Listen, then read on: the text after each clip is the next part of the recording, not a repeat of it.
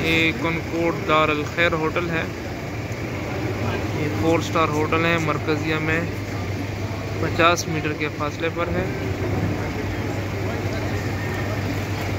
जैसे ही आप इस होटल से निकलते हैं, सामने मूविंग पिक है और ये सामने हरम शरीफ है। 50 मीटर के फासले पर आप हरम शरीफ में दाखिल हो जाएँगे मस्जिद नबी में। बहुत ही खूबसूरत इसकी लॉबी है। रेस्टोरेंट भी है इसमें। खूबसूरत होटल है ये, मदीना मुनवरा में।